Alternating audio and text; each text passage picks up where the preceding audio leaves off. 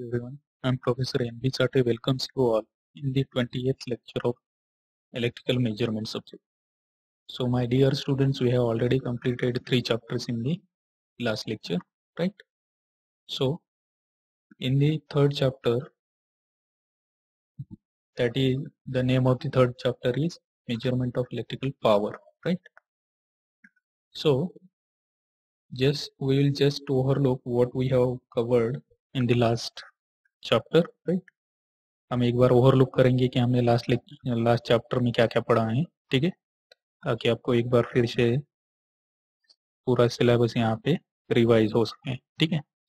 तो पहले तो हम, पहले तो हमने चैप्टर में देखा था there are three types of powers that is active power reactive power and apparent ये तीन टाइप्स के पावर देखे थे हमने। बाद में इसका डिटेल में एक्सप्लेनेशन देखा, तीनों पावर एक्टिव पावर को तीन नाम है, एक्टिव पावर, ट्रू पावर और real power. Then reactive power का एक्सप्लेनेशन देखे थे हमने, जिसको हम इमेजिनरी पावर भी बोलते हैं। Then need to measure the reactive power right ये पॉइंट देखे थे। देन हमने पावर फैक्टर देखा था पावर फैक्टर का सिग्निफिकेंस देखा राइट देन हमने कंपैरिजन देखा था unity power factor and low power factor meter का। Unity power factor watt meter and low power factor watt meter की कंपैरिजन देखा हमने। फिर हमने तीन सर्किट देखे थे R L series circuit R C series circuit and R L C series circuit ये तीनों सर्किट और उसके फेजर डायग्राम हमने देखे थे। ठीक है? कैसे ड्रॉ करना है। देन हमने इम्पिडेंस ट्रायंगल तीनों सर्किट के देखे R L R C and R L C series circuit और बाद में उसमें voltage triangle and power triangle कैसे ड्रॉ करना है, ये भी ये भी मैंने आपको बताया था। देन हमने पढ़ा basics of basics about watt meter watt meter क्या होता है? वैट मीटर का सिंबल है ये। देन वैट मीटर में दो कॉइल्स होते हैं current coil and pressure coil उसका कंपॅरिझन देखा हमने। ठीक आहे नंतर आपण इलेक्ट्रोडायनामीटर टाईपचं वॅट मीटर पाहिलं, त्याचं कन्स्ट्रक्शन त्याचं वर्किंग प्रिन्सिपल पाहिलं, त्याचं टॉर्क इक्वेशन कसं असतं ते पाहिलं. नंतर वॅट मीटर्समध्ये इलेक्ट्रोडायनामीटर टाईपच्या वॅट मीटर्समध्ये वेगवेगळे एरर्स होतात. त्यामध्ये हे दहा टाईपचे एरर्स आपण पाहिले. राईट देन त्या एरर्सला आपण कंपॅन्सेट कसं करतो? ठीक आहे? हे पण पाहिलेलं आपण. त्याचे ॲडव्हान्टेजेस आणि डिसएडव्हान्टेजेस पाहिले आपण डायनामीटर टाईपचे त्याचे ॲप्लिकेशन्स पाहिले आपण as a volt volt meter and then we have studied polyphase wattmeter क्या होता है, उसका कंस्ट्रक्शन वर्किंग प्रिंसिपल देखा, बाद में हमने इंडक्शन टाइप का वैटमीटर देखा, उसका कंस्ट्रक्शन वर्किंग देखा। Then have discussed about the multiplying factor of the of a watt meter multiplying देखा हमने। देन उसकी रिक्वायरमेंट देखी मल्टीप्लाइंग फैक्टर की, इसके ऊपर के कुछ एग्जांपल्स भी सॉल्व किए हमने। Then extension range of the watt meter watt meter का रेंज हमने कैसे एक्सटेंड किया वो भी देखा हमने।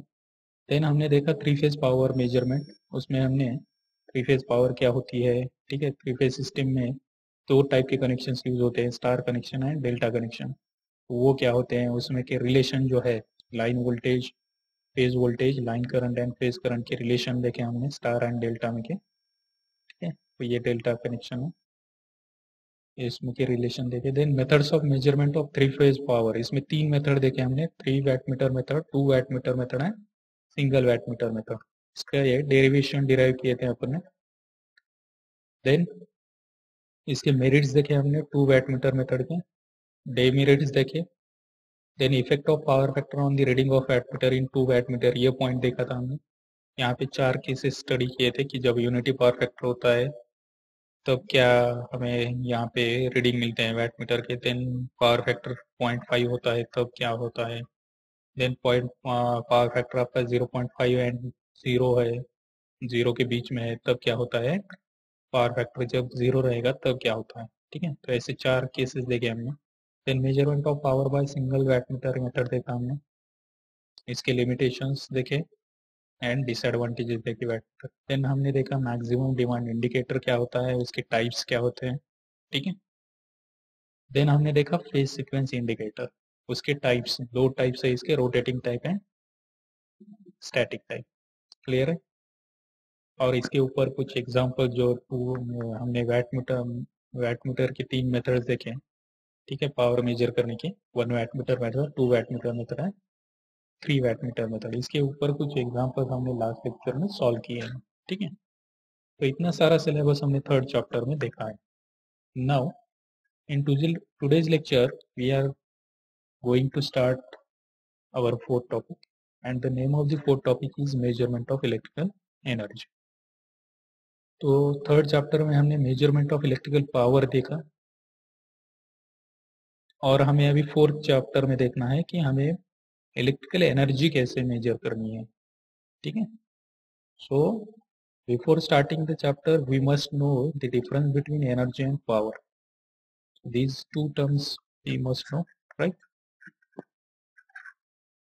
तर दोघांमध्ये नेमका फरक काय हे माहिती पाहिजे आपल्याला. पॉवरची डेफिनेशन काय सांगतो आपण? Power it is the product of R M S value of voltage and current म्हणतो सिम्पली पॉवरची डेफिनेशन आहे it is the product product म्हणजे मल्टिप्लिकेशन घेतो आपण R M S value of voltage and करंटचं ठीक आहे? आता त्यामध्ये पॉवरचे टाईप्स आहेत. तीन टाईप्स आहेत माहिती आहेत आपल्याला. ॲपरंट पॉवर आहे ॲक्टिव्ह पॉवर आहे आणि रिॲक्टिव्ह पॉवर आहे. ठीक आहे? तर जनरलमध्ये लक्षात ठेवा. पॉवरची जी डेफिनेशन आहे it is the product of R M S value of voltage and current clear so, this is power. Now, how will define the energy? Electrical energy? So, electrical energy ची डेफिनेशन काय सांगता येईल आपल्याला मग? जे energy simple आपण definition सांगतो एनर्जीची की capacity to do work right capacity to do to do work की एखादं वर्क करण्यासाठी जी कॅपॅसिटी लागते, त्याला आपण एनर्जी म्हणतो राईट जनरलमध्ये आणि त्याचं युनिट सांगतो आपण एनर्जीचं जूल्स आहे. आता इलेक्ट्रिकल एनर्जी म्हणजे काय? ठीक ही तर जनरल डेफिनेशन अपन एनर्जी सांगतो. कैपेसिटी टू डू वर्क ये जनरल डेफिनेशन है और उसका यूनिट क्या होता है? जूल्स ये सबको मालूम होता है आपने आप, आपने दसवीं तक या फिर बारहवीं तक भी ये एनर्जी की डेफिनेशन पढ़ी होगी कहीं तो भी। ठीक? Now we'll see actual definition of the electrical energy. Right? So how we'll define electrical energy? Electrical energy is defined as the work done in moving electrical charge in electric field. Electrical energy को हम define कर सकते हैं। कैसे define किया हमने? Work done in moving electrical charge एक moving electrical charge में वहाँ पे वर्क डन होता है इलेक्ट्रिकल फ़ील्ड में, ठीक है? Work done in moving electrical charge in electrical field electrical field में जो इलेक्ट्रिकल चार्ज है, उसमें जो इलेक्ट्रिकल चार्ज जो मूविंग हो रहा है, उसमें जो वर्क होता है वर्क डन होता है, उसको बोलते हैं इलेक्ट्रिकल एनर्जी समझ लो जैसे कॅपॅसिटी टू डू वर्क ही डेफिनेशन सांगितली मी तुम्हाला.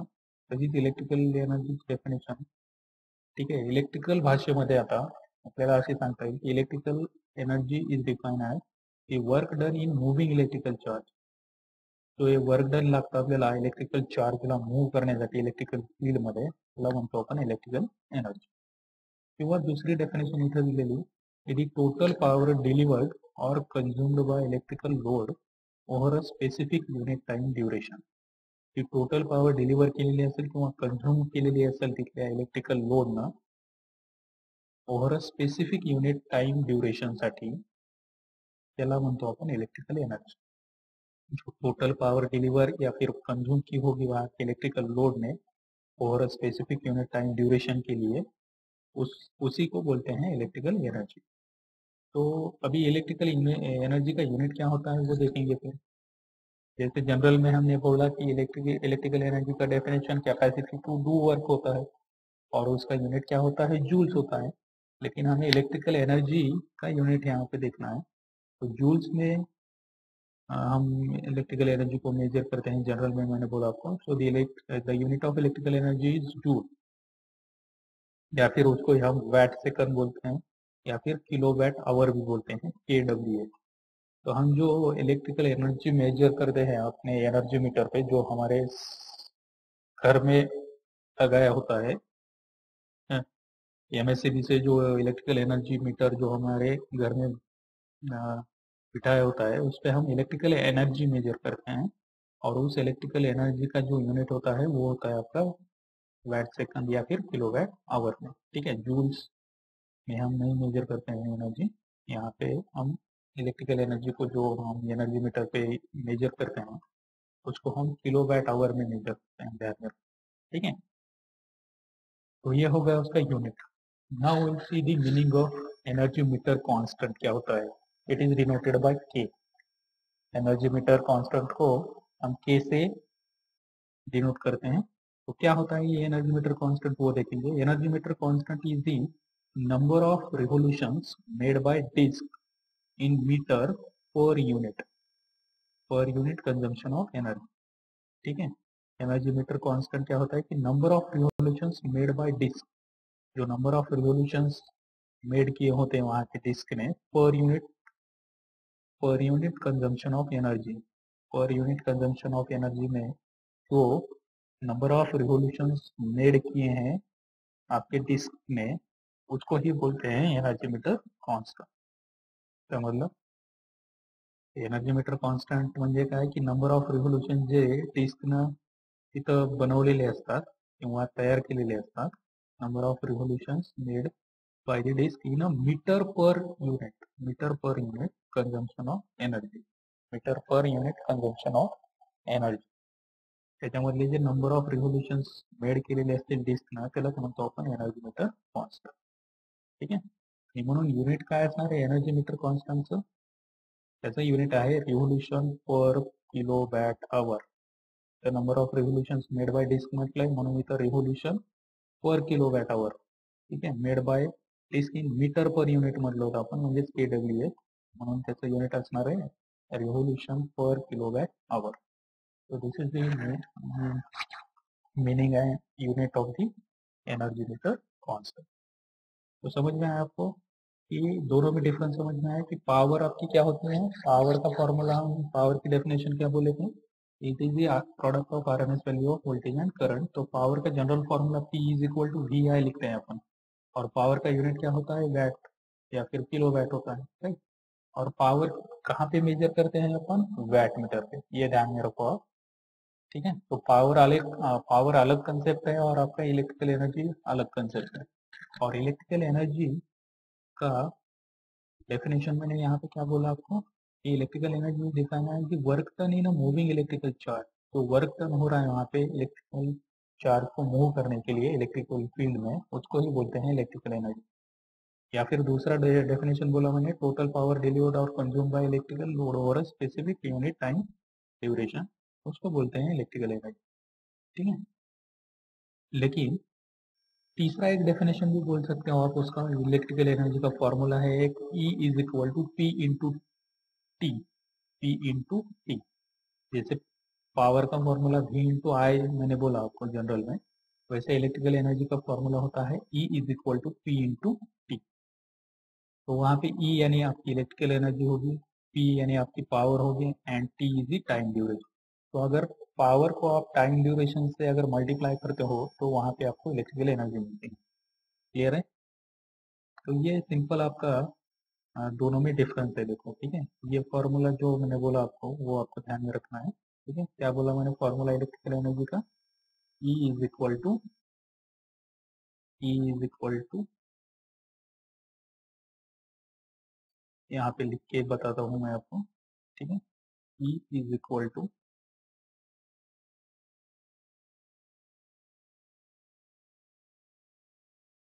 P into T. P into T. ये फॉर्मूला है अपना इलेक्ट्रिकल एनर्जी का, ठीक है? तो ये फॉर्मूला आपको ध्यान में रखना है E is equal to P into two तो E यानी आपकी इलेक्ट्रिकल एनर्जी होगी, P यानी आपकी पावर होगी and T is time duration ठीक है? और इसका यूनिट हमने ऑलरेडी बोला किलो वैट आवर होता है क्लियर है? समझ में आया? ठीक है। नौ ये हो गया आपका electrical energy and energy meter constant ठीक है? नौ हमें एक्चुअल एनर्जी मीटर अभी जो इलेक्ट्रिकल एनर्जी हम मेजर करते हैं वो किस पे करते हैं? अपने एनर्जी मीटर पे, जो घर में हमारे इलेक्ट्रिसिटी का मीटर होता है उसको एनर्जी मीटर बोलते हैं। तो उस पर हम इलेक्ट्रिकल एनर्जी मेजर करते हैं। पावर नहीं, बहुत सारे स्टूडेंट यही गलती करते हैं। जब एक्सटर्नल क्वेश्चंस पूछते हैं कि इलेक्ट्रिकल एनर्जी मीटर पे हम पावर मेजर करते हैं एनर्जी तो बहुत सारे स्टूडेंट्स वहाँ पे पावर आंसर देते हैं। तो वहाँ पे पावर मेजर नहीं होती है, वहाँ पे क्या मेजर होता है? इलेक्ट्रिकल एनर्जी पावर हम कहाँ पे मेजर कर रहे हैं? वैट मीटर पे। ये दोनों में डिफरेंस ध्यान में रखो, ठीक है? Now we'll see electromechanical energy meter, जिसको हम इंडक्शन टाइप का एनर्जी मीटर भी बोलते हैं, ठीक है? तो before explaining this point we'll just overlook the diagram of this electromechanic energy meter right तो this is the direct diagram for electromechanical energy meter इसमें क्या क्या दिख रहा है आपको? देखो, यहाँ पे दो मैग्नेट दिख रहे हैं आपको। एक मैग्नेट है आपका, ठीक है? ये मैग्नेट है एक आपका, और इसका, ये दूसरा मैग्नेट है। तो इसको बोलते हैं ऊपर के मैग्नेट को बोलते हैं शंट मैग्नेट और इसको बोलते हैं आपका सीरीज़ मैग्नेट ठीक है? ये दो मैग्नेट है। इस पे ऊपर इसकी ये शंट मैग्नेट के जो सेंट्रल लिंब है आपकी, उसके ऊपर एक कॉइल वाउंड की होती है, यानी वाइंडिंग वाउंड की होती है, जो होती है आपकी प्रेशर कॉइल उसको बोलते हैं प्रेशर कॉइल ठीक है? देन यहाँ पे एक एल्यूमिनियम डिस्क होती है आपकी, ये एल्यूमिनियम डिस्क है, ये आपकी स्पिंडल रहेगा, ठीक है? और इसके ऊपर ये एल्यूमिनियम डिस्क के ऊपर एक ब्रेक मैग्नेट होता है। ये एल्यूमिनियम डिस्क आपकी रोटेट होती रहती है। अगर पुराने ज़माने के आपने एनर्जी मीटर देखे होंगे तो उसमें एक डिस्क रहती थी और वो कंटिन्यू रोटेट होती है। अगर आप, आपने किसी ने देखा होगा कि पुराने जो मीटर थे आपके एनर्जी मीटर वो ऐसे टाइप के थे कि उसमें एक डिस्क थी, वो कंटिन्यू रोटेट होती रहती थी। जैसे जैसे अपनी इलेक्ट्रिसिटी कंज्यूम कर रहे हैं हम घर घर में वैसे वैसे आपकी इलेक्ट्रिसिटी के यूनिट्स वहाँ पे पड़ते थे आपके एनर्जी मीटर पे और यूनिट्स कैसे पड़ते थे? आपकी ये डिस्क रोटेट होने के बाद, ठीक है? तो ये उस टाइप का इलेक्ट्रोमैकेनिकल एनर्जी मीटर है, ठीक है? तो यहाँ पे आपकी ये स्पिंडल है और यहाँ पे आप ये डिस्क माउंट की है, ये ट्वेल्व बियरिंग है आपकी और इसके ऊपर ये ब्रेक ब्रेक मैग्नेट है, ठीक है? यहाँ पे हम सिंगल पे जैसे सप्लाई देते हैं, ठीक है? यहाँ पे भी एक कॉइल ऑन की है और यहाँ पे लोड कनेक्ट किया है आपका।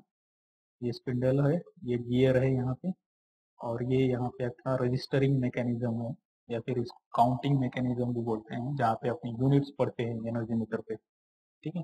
जैसे बाइक बाइक हम, हमारे चलती है और सपोज़ एक किलोमीटर हो गया कि अपने बाइक में एक यहाँ पे डिजिट पड़ता है, अपना मालूम होगा आपको। ठीक है? वैसे ही यहाँ पे रजिस्टरिंग मैकेनिज्म दिखाया होता है एनर्जी मीटर में। तो जैसे जैसे यूनिट्स पढ़ते जाएँगे, वहाँ वहाँ पे आपकी ये रीडिंग आपकी चेंज होती जाएगी। ठीक है? समझ लो तो ये सिंपल डायग्राम आहे इलेक्ट्रोमेकॅनिकल एनर्जी टाईप मीटर तर दुसरी एक डायग्राम दाखवलेली याच्यामध्ये हे डिस्क आहे aluminium disc rotating aluminium disc brake magnet आहे. त्याच्यामध्ये हे स्पिंडल आहे. गिअर ट्रेन दाखवलेली तर टाईल्स वरती गिअर ट्रेन यूज़ केलेली असते. वेगवेगळे छोटे मोठे गियर्स वोल्टेज कॉईल आहे इथं दाखवलेली. यह है कॉपर शेडिंग बैंड आपकी कॉपर शेडिंग बैंड. देन ये आहे आपली करंट कॉईल ठीक आहे?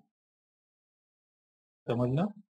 तर येले एनर्जी मीटरलाच आपण वॅट आवर मीटर पण म्हणू शकतो. तिथे वॅट आवर कारण कशाचं युनिट आहे? एनर्जीचं त्यामुळे वॅट आवर मीटर पण त्याला म्हणता येईल मीटर वेगळं वॅट आवर मीटर वेगळं. Watt hour meter energy meter लक्षात ठेवा. अभी इसके पॉइंट देखेंगे अपन एक एक पॉइंट देखेंगे. ठीक है तो पहला पॉइंट है इसका. इलेक्ट्रोमैकेनिकल एनर्जी मीटर का भी हमने जो डायग्राम देखी, वो डायग्राम आपको सामने रखनी है और उसका फ़र्स्ट पॉइंट बोल सकते हैं अपन. The disc is acted upon by the two sets of coils disc पे क्या कर रहे हैं, कर रहे हैं? दो जो सेट्स है कॉइल्स का, उसके ऊपर आपके डिस्क एक्ट हो रही है disc is acted upon by two sets of coils दो सेट जो है कॉइल का, वो एक्ट हो रहा है आपके डिस्क के ऊपर, ठीक है? तो यहाँ पे दिख रहा है आपको। डायग्राम में हम, हमने देखा है, यहाँ पे दो कॉइल है एक है प्रेशर कॉइल आपकी और दूसरी है आपकी voltage sorry, pressure coil and current coil, ठीक है? Pressure coil and current coil आपके दो कॉइल्स होते हैं, जैसे वैट मीटर में होते हैं, वैसे यहाँ पे ये प्रेशर कॉइल है करंट कॉइल। तो one coil produce magnetic flux depends on the current. एक कॉइल उसमें से क्या करती है, दो जो सेट है कॉइल का अपना, दो सेट जो है कॉइल के, उसमें से एक कॉइल क्या करती है आपकी मैग्नेटिक फ्लक्स को प्रोड्यूस करती है और वो किस पे ऊपर डिपेंड होता है आपके करंट के ऊपर। ठीक है? या दोन सेट्स म्हटलं आपण कॉईलच्या त्यामधली एक कॉईल काय करते तिथं मॅग्नेटिक फ्लक्स प्रोड्यूस करते ते कशावरती डिपेंड आहे तिथल्या करंटवरती आणि दुसरं जे आहे ते कशावरती डिपेंड आहे तिथल्या व्होल्टेजवरती which is lag behind ninety degree ठीक आहे लॅगिंग मध्ये असणार आहे नाईन्टी डिग्री नाईन्टी डिग्री ठीक आहे समजला? हा दुसरा पॉईंट दिलेला आहे. की एक कॉईल जे आहे, ती मॅग्नेटिक फ्लक्स प्रोड्यूस करते, जी करंटवरती डिपेंड आहे. आणि दुसरी आहे व्होल्टेजवरती डिपेंड आणि ती लॅगिंग मध्ये असणार आहे ninety degree angle third point दिलेला आहे that produce eddy current into disc and force to rotate the disc आणि ते काय करते मग? जे व्होल्टेज वरती डिपेंड आहे, ते काय करते इथं? एडी करंट प्रोड्यूस करते डिस्क मध्ये. आणि फोर्स सुद्धा एक एक इधर डिस्क वरती प्रोड्यूस करते हैं जेणेकरून आपली डिस्क काय होते रोटेट होते ठीक है? So that produce see current into disc and force to rotate the disc next point ये है permanent magnet exerts and opposing force proportional to the speed of the rotation of the disc वहाँ पे permanent magnets है, जो क्या करता है वहाँ पे अपोजिंग फोर्स एग्जर्ट करता है तो अपोजिंग फोर्स आपके स्पीड ऑफ़ रोटेशन जो है डिस्क की, उसको प्रोपोर्शनल होता है। परमनंट मॅग्नेट काय करतो तिथे एक ऑपोजिंग फोर्स एक्झर्ट करतो तो ऑपोजिंग फोर्स हा तिथल्या स्पीड ऑफ़ रोटेशन जी आहे डिस्कचं त्याला डायरेक्टली प्रोपोर्शनल असणार आहे ठीक आहे नाउ नेक्स्ट पॉइंट दिया है the equilibrium between these two opposing forces results the disc to rotate at a speed proportional to the power usage hey equilibrium असणार आहे कशामधलं दोन अपोजिंग फोर्सेस मधलं the equilibrium between these two opposing forces result त्याचा result काय होतो आपल्याला? तर डिस्क काय होते आपली? रोटेट होते एका स्पीडला आणि ती प्रोपोर्शनल असणार आहे तिथल्या पॉवर युसेजला जो इक्विलिब्रियम हो रहा है, जो दो अपोजिंग फोर्सेस में है, उसका रिज़ल्ट क्या मिलता है अपने को? कि वहाँ की जो डिस्क है, आपकी एल्यूमिनियम डिस्क वो रोटेट होती है, जो रोटेट होती है एक स्पीड से, जो प्रोपोर्शनल होता है वहाँ के पावर यूसेज को। ठीक now the disc drives a register mechanism which counts revolution यहाँ पे डिस्क क्या करती है? वहाँ के रजिस्टरिंग मैकेनिज्म को ड्राइव करती है और वहाँ पे आपके रिवोल्यूशन काउंट होते हैं। तो यहाँ पे दिख रहा है आपको डिस्क रोटेट होने के बाद ये डिस्क क्या करती है आपकी? हाँ यहाँ के रजिस्टरिंग मैकेनिज्म को ड्राइव करती है। और वहाँ पे आपके रिवोल्यूशन काउंट होते हैं डिस्क के ठीक है? यानी हम बोलते हैं कि वहाँ पे यूनिट पड़ रहे हैं। एक रिवोल्यूशन हो गया इसका एल्यूमिनियम डिस्क का यहाँ पे एक यूनिट पड़ेगा आपका, ठीक है? वैसे कितने रिवोल्यूशन होंगे, वो सारे यहाँ पे काउंट होंगे तो उसकी वजह से इसको रजिस्टरिंग सिस्टम कहा है या फिर काउंटिंग मैकेनिज्म भी बोला है, ठीक है? समझ में आया? तो ये सिंपल कंस्ट्रक्शन है आपके एनर्जी मीटर क्लियर है?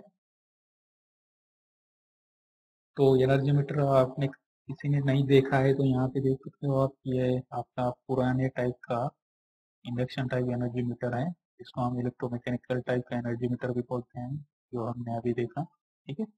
इसमें ये जो डिस्क दिख रही है आपको, ये है एल्यूमिनियम डिस्क राइट और ये kilo kilo watt hour meter है आपका एनर्जी मीटर है, और यहाँ पे ये रजिस्टरिंग मैकेनिज्म है, जहाँ पे आपके यूनिट्स पड़ता है, ठीक है? इसमें सारा इसमें दिया होता है, जैसे ये सिंगल फ़ेज़ टाइप का है, ठीक है? देन इसको वोल्टेज कितना लगता है? 220 वोल्ट इसका करंट दिया है आपका 10 टू 20 एम्पियर टीयर्स फ्रिक्वेंसी है। 600 रिवोल्यूशन पर किलोवाट आवर दिया है यहाँ पे, ठीक है?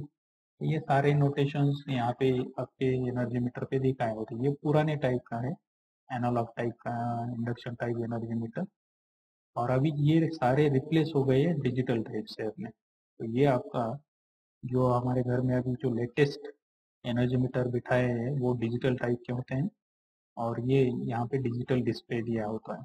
ठीक है? ये इलेक्ट्रॉनिक टाइप का एनर्जी मीटर है इलेक्ट्रॉनिक डिजिटल टाइप का एनर्जी मीटर क्लियर है?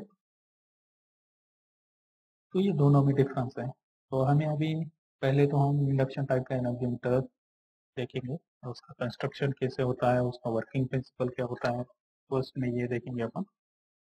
तो यहाँ पे चार मेन पार्ट्स होते हैं आपके ऑपरेटिंग मैकेनिज्म के एनर्जी मीटर में इंडक्शन टाइप के एनर्जी मीटर में। ये डायग्राम हमने ऑलरेडी देखा है, ठीक है? कहाँ पे देखा है, जब हमने अलग अलग इफ़ेक्ट देखे थे सेकंड चैप्टर होने के बाद, वहाँ पे पाँच इफ़ेक्ट मैंने बोले थे आपको।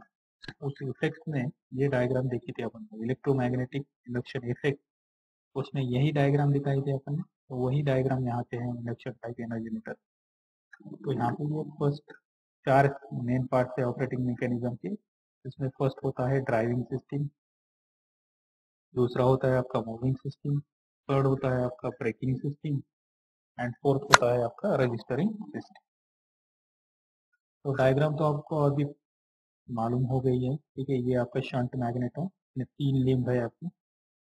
लिम्ब क्या होता है? ऑलरेडी मैंने बोला आपको, जो वर्टिकल पार्ट होता है कोर का, उसको बोलते हैं लिम्ब एंड जो हॉरिजॉन्टल पार्ट होता है, उसको बोलते हैं कोर ठीक है? तो ये शंट मैग्नेट के तीन लिम्स है आपके।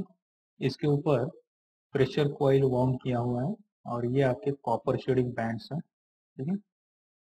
देन आपका ये एल्यूमिनियम डिस्क है, ये आपका स्पिंडल है। ये डिस्क के ऊपर हमने एक ब्रेक मैग्नेट यहाँ पे बिठाया है। ये आपकी करंट कॉइल है, ठीक है? और ये आपका सीरीज़ मैग्नेट है नीचे का। ये शंट मैग्नेट है, ये सीरीज़ मैग्नेट है। ये ज्वेल बियरिंग रहेंगे आपके और यहाँ पे आपका रिकॉर्डिंग मैकेनिज्म है। यहाँ पे आप लोड कनेक्ट करोगे और यहाँ पे आप सिंगल फ़ेज़ एसी अप्लाई करोगे, ठीक है? समझ में आया? तो ये सिंपल डायग्राम है अपने induction type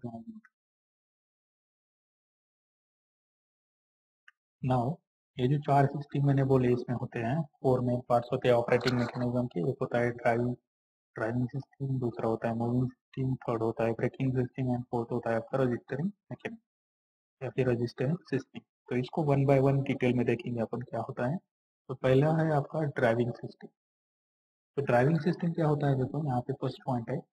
Operating system consist of two electromagnets दो इलेक्ट्रोमैग्नेट्स है आपके ऑपरेटिंग सिस्टम में एक है शंट मैग्नेट दूसरा है आपका series magnet then the cores of these electromagnets are made up of silicon steel lamination. जो कोर है आपके इलेक्ट्रोमैग्नेट्स के, वो हम कैसे बनाते हैं? सिलिकॉन स्टील के लैमिनेशन अभी लैमिनेशन क्यों यूज़ किए? यहाँ पे लैमिनेशन सिलिकॉन स्टील के क्यों यूज़ किए हैं? कोर के कंस्ट्रक्शन के लिए इलेक्ट्रोमैग्नेट्स के, क्योंकि हमें वहाँ के एडी करंट लॉसेस कम करना होता है, उसकी वजह से हमने सिलिकॉन स्टील के लैमिनेशन यूज़ ठीक है? Then third point है the coil of one of these electromagnets that is series magnet are connected in series with the load. जो कॉइल है आपके एक इलेक्ट्रोमैग्नेट की यानी सीरीज़ मैग्नेट की वो किसको कनेक्टेड है आपके लोड को यहाँ पे दिख रहा है आपको ये जो कॉइल है आपकी वो कहाँ पे कनेक्टेड है आपके लोड को ठीक है सीरीज़ मैग्नेट की जो कॉइल है वो कहाँ पे कनेक्टेड है आपके लोड को The coil of one of the electromagnet that is series magnet are connected in series with the load and is called as current coil. उसको क्या बोलते हैं current coil बोलते हैं। And the other electromagnet, that is shunt magnet, is wound with a coil that is connected across the supply. जो दूसरा electromagnet है आपका, यानी शंट मैग्नेट है। उसके ऊपर जो कॉइल वाउंड किया है, वो कनेक्ट करनी है अपने को सप्लाई के अक्रॉस ये जो प्रेशर कॉइल है, यहाँ पे वाउंड की हुई, ये सप्लाई के अक्रॉस में आपने कनेक्ट किया है। यहाँ पे देखो, ये सिंगल फ़ेज़ सप्लाई है आपका। तो ये फ़ेज़ रहेगा, ये न्यूट्रल वायर रहेगा, ठीक है? यहाँ पे इसके अक्रॉस में ये प्रेशर कॉइल कनेक्ट की है आप, ठीक है? समझ में आया? तर ऑदर इलेक्ट्रोमॅग्नेट म्हणजे शंट मॅग्नेट हे वरती जे वाउंड कॉईल वाउंड केलेली आपण, ती कनेक्ट करतो आपण सप्लायच्या अक्रॉसमध्ये म्हणजेच पॅरलमध्ये ज्याला आपण प्रेशर कॉईल म्हणतो, ठीक आहे? Pressure coil thus carries a current that is proportional to the supply voltage. Pressure coil मधून मग करंट कॅरी केला जातो. हा दिसतोय तुम्हाला. हा इथं एरो दिसलेला. प्रेशर कॉईल मधून आपला करंट कॅरी केला जातो. आणि तो प्रोपोर्शनल असणार आहे तिथल्या सप्लाय व्होल्टेजला कारण आपण ते पॅरल मध्ये कनेक्ट केलेली सप्लाय व्होल्टेजच्या त्यामुळं प्रेशर कॉईल मधून जो करंट कॅरी केला जाणार आहे तो प्रोपोर्शनल असणार आहे तिथल्या supply voltage and shading bands made up of copper are provided on the central link of the shunt magnet shading band आपण तिथं ज्या कॉपर पासून बनवलेले असतात त्या सेंट्रल लिंक वरती शंट मॅग्नेटच्या प्रोव्हाइड केलेले आहेत ठीक आहे इथं दिसत तुम्हाला शेडिंग बँड आहे त्या ठीक आहे कॉपर मटेरियल पासून बनवलेल्या असतात त्या ठीक आहे हे सगळं असतं ड्रायव्हिंग सिस्टीम मध्ये तर ही डायग्राम परत तीच ठीक आहे फक्त इथंच केले सर्क्युलर याच्यामध्ये दाखवलेली ही प्रेशर कॉईल आहे आपली ठीक आहे इथे सप्लाय व्होल्टेज येणार आहेत आपण करंट कॉईल आहे आपली. ठीक आहे हे शेडिंग बँड इथे दाखवलेले आहे राईट ही अल्युमिनियम डिस्क आहे आपली. ही करंट आहे. ही प्रेशर कॉईल आहे आपली. ठीक आहे आणि हे फ्लक्स आहे आपलं. डॉटेड जे दाखवलेलं आहे ते आहे आपलं फ्लक्स ठीक? तर हे झालं सगळं ड्रायव्हिंग सिस्टीम ठीक है कुछ डाउट है इसमें ड्राइविंग सिस्टम में राइट तो ये हो गया फ़र्स्ट पार्ट अपना। कंस्ट्रक्शन जो देखा हमने इंडक्शन टाइप के एनर्जी मीटर का इसमें चार को मेन ऑपरेटिंग मैकेनिज्म है, इसमें ये फ़र्स्ट हमने देखा उसमें बाकी तीन बचते हैं अभी, ठीक है? तो that will see in the next lecture right तो ये बाकी के तीन हम नेक्स्ट लेक्चर में देखेंगे, ठीक है? तो we will stop here and we will meet in the next ठीक है? Thank you thank you very much